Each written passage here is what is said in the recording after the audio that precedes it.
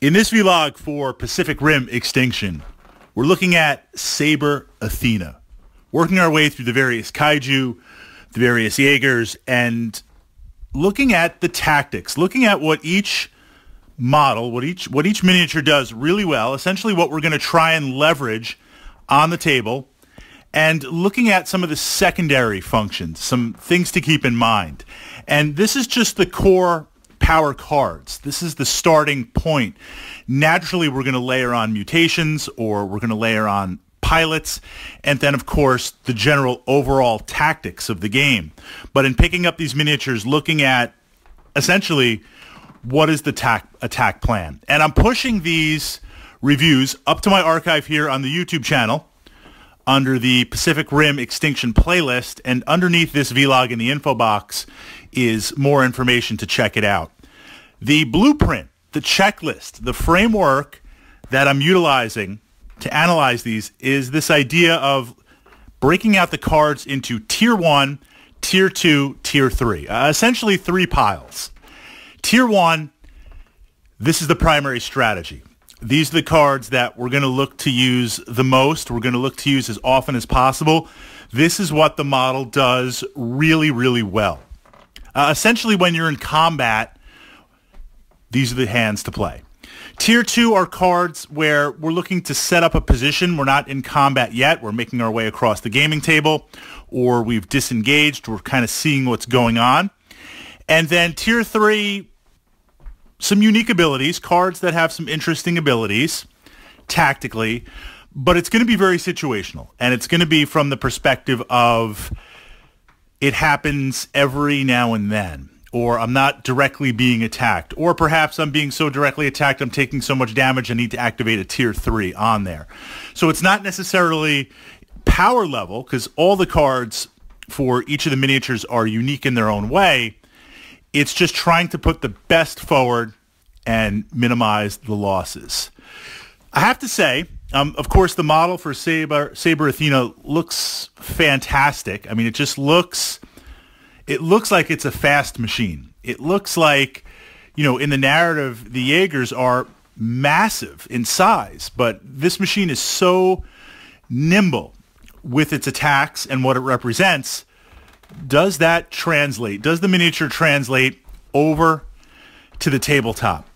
I think so. I, I was um, initially really impressed. You know, when you open up a new miniature, when you look at the various Jaegers, you look through the cards, you're getting some ideas. Uh, right away, I'm like, wow, yes, absolutely. Can't wait to play this on the table.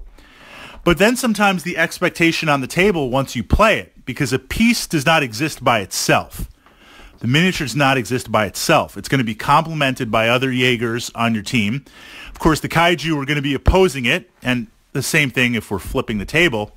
Then we've got the mission we're playing, and then we've got the unique terrain pieces. So what I'm saying is it doesn't exist in a direct vacuum on there. There's other variables.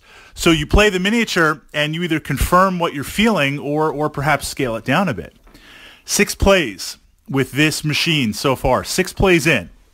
I'm like, wow, this is um, and this is only wave one. This is only the release of, of wave one for Extinction. I, I can't even imagine the craziness that's coming in wave two. It, it can't get here fast enough. So let's let's look at these tier one cards on here. The first we're going to look at is the particle charger.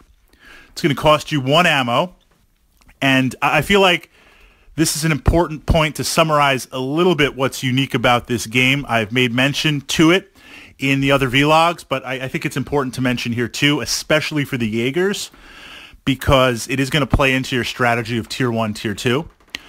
A lot of games play with ammunition. And what I mean by that is as a war game, an example would be Warhammer 40K. There's no ammo.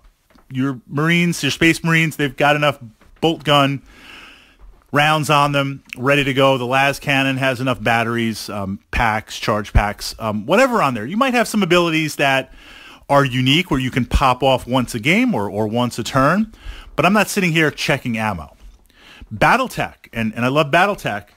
Battletech, your mechs, if they're not energy-based weapons, if they're autocannons, machine guns, missiles, you have ammo. In a standard game, you're not really going to run out of ammunition. You might, but it's not as dire. The massive power of, of these Jaegers in Pacific Rim Extinction, um, the ammo is limited. The ammo is limited. There are ways to um, get more ammo, to generate more power on there, but of course that assumes you're not in the action in the moment. You can't do it in the middle of combat, or I should say it would not be wise to do it in the middle of combat. So this leads to some serious, serious tactical decisions. In a game where there's no ammo, if I'm going to shoot and it's a really obscure shot, it's a long shot, it's a long range shot, I'm probably not going to damage you. I'll take the shot anyway. I've got unlimited ammo. But in Pacific Rim, where you have limited ammo or ammo generation is a little bit harder, you know, if it's the kaiju, then you got to make some decisions. Do you go for it? Do you play it? Do you set yourself up? I find it much more tactical. So um, with the Jaegers, what we see with shooting, they have shooting, but you're limited by ammo. You're potentially limited by charges in close combat in the assault to juice it up and to jack it up more. So, and, and this leads into um, Saber Athena. Do you jack yourself up? And this is this is the question to ask. I don't have an answer for this. You're going to see in a moment um, with the other two tier one cards, double tier one cards. Do you jack it up and go all in in the beginning, try to deal alpha damage, try to deal some amazing damage, or do you wait and be a little more conservative for an opportunity, or perhaps is that finishing blow? I'm going to let you guys think about that, formulate that. I'll circle back around and give my thought on it. So we've got the particle charger. Cost, one ammo. It's a ranged attack. And uh, the subtext is for each trigger rolled, I can spend one charge to gain an extra success. This is interesting because now what we're starting to see is the ability of dice manipulation. And in any type of game, any type of war game that involved dice, if there's a dice manipulation mechanic, that's powerful and we want to utilize that, especially if we're rolling a number of dice. And a dice manipulation mechanic can be something as simple as uh, I need threes to hit, and for this round only, you know, if I'm using a standard D6, not not custom D6 like Pacific Rim, I hit on a three or higher because I'm a Space Marine. For this round, because I've got discipline, any misses I get to reroll. That's powerful on there. Um, we might see dice manipulation, X-Wing miniatures. I've got my special pilot ability. I pop it off. Um, any hits I can turn into crits on there. That's powerful too. So rerolls and dice manipulation, massive. We have some dice manipulation right here on that where you can spend a charge to gain a success. That leads into the idea where if you're up against some kaiju with better than average defenses, you could potentially at least equalize that out. That is tremendous flexibility. If you're going up against some of the lighter kaiju, and, and I'm estimating some of the arrivals in Wave 2 that I'm looking at on there, then if you're stronger, you can potentially gang up a little bit more with those manipulations and deal even more damage. So the particle charger, interesting on there. And we don't have to use it. We don't have to use it. Now, as an attacker, I have to make my attacks. And based on the output of my dice, I need to make a decision first. It's not that I get to roll, you get to roll yours, and then I get to decide. But I still have that decision on there that makes this shooting attack more than just like generic shooting attack. Gives it some flexibility. And this is from a Jaeger that, um, while they all have a, a, shooting attack on their ranged attack, this is primarily a, a close-in, close work type machine. So that's that's tier one on there. So now we've got the twin plasma swords. Make a close combat attack. If you roll two or more triggers, on this attack, I can spend one charge to make another, make another attack. What? Like, uh, yes, absolutely. It represents the nimbleness of, of the machine. But I, I really don't want to get hit with this at all as, as the Hive Mind player playing the, the Kaiju on there. If I roll two or more triggers, so on average, you will tend to roll one trigger based on the average attack and the the skill and the power that we're adding up on there. There is other ways to manipulate it. There's other abilities to kind of juice it a little bit, but we're, we're just looking at the core right now. On that, if I roll slightly above average, um, that's a trigger potentially for another attack on there. That's um, that's something I have to keep in mind as a kaiju player. I need to kind of stay away from this machine. But a lot of the kaijus want to get up there and smash face on there. I'm not going to get off very easy on that. So that's pretty powerful um, right there. Again, it's up to the dice. It's swingy. I can't count on it, meaning it's not going to happen every turn um, both as as a Jaeger player, but also as a Kaiju player. If I see that, like I have to take that into account. Is Fritz going to roll legendary on here? Flying knee. This is the third card. It's going to cost me a charge. I'm going to make a close combat attack, and uh, the Tactica text here. When attacking, if I roll two or more triggers, so uh, Saber Athena is essentially a trigger type mech on there. Play Saber Athena in the enemy rear arc. What? Everyone's flipping out online about Burrow because you know getting into the rear and, and smashing stuff, and and like, what about the flying knee on here? It's not as straightforward as Burrow, but it's still it's still good. In the enemy rear arc after this attack, facing her target. Of course, there has to be room to fit and maintain contact with the target on there. This now leads to tag teaming on it. So I'm going to use that. I could possibly get into the rear arc. Um, I still get to make an attack, by the way. So with this card, if I play it, then I get to make an attack. Maybe I'll do some damage. Maybe I won't. But then immediately now I'm behind you. Um, you know, assuming that I have room to maneuver on there. That changes the flow of next turn if I somehow get the initiative, you know, as the kaiju player, I get the initiative. I'm going. I'm attacking on there. Like that's that is a that's a problem. Um, if the kaiju player gets the initiative, they now have to react to Saber being behind them. Right? There's this idea of active versus passive player. Uh, by that, what I mean is you are re- you, we never want to react to what our, our wargaming opponent is doing. I, I, need to sidestep a little bit here and also mention in my Wargaming Tactica archives here under the playlist Wargaming Tactics, you're going to find active versus passive players. I've also talked about it on my blog. This is true for any wargaming system. You want to go in with a plan. You want to force your opponent to bow to your plan. And I don't mean by like jerk mode on and, and not being a, a good opponent but essentially, you want to get them reacting to what you're doing because they'll always be one step behind on there. So if a kaiju player is is pushing forward and really leveraging their monsters, which you want to do, and their plan is like, I'm just going to smash face, smash face. I'm going to gang up on this weakest Jaeger. So now my opponent, you know, Fritz has to make a choice, let it go and get lose a machine or spend a lot of resources uh, away from the mission to try and protect that machine by bringing in other Jaegers. That's an example, whether it's successful or not, depends, but that's an example of being active.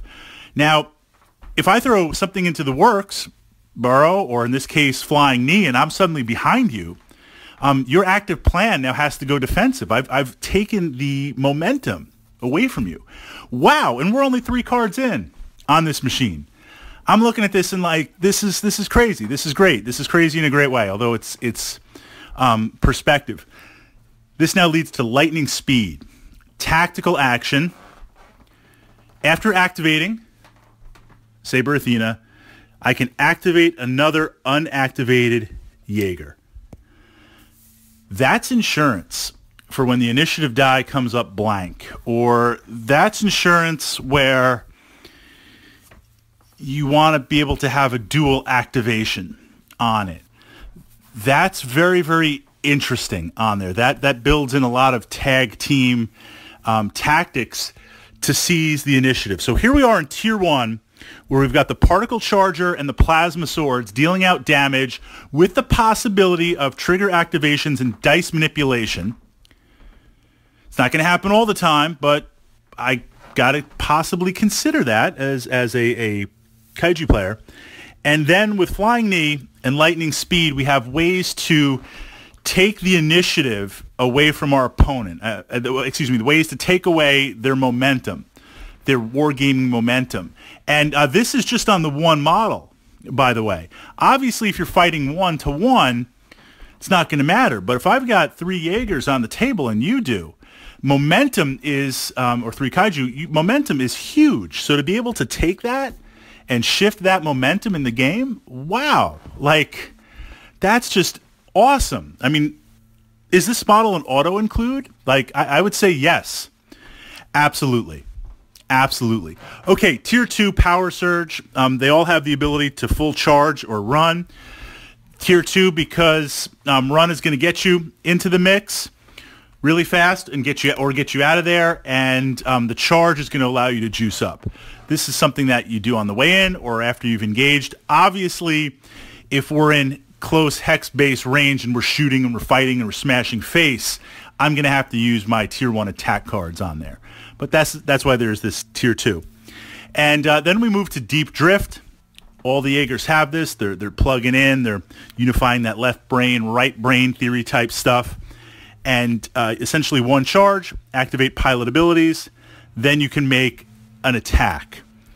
I don't put that in tier one because the activation of the pilot abilities depends so much on the situation and what you're running in that machine. Um, there's a lot of combos. We will explore them. This is just the first way around.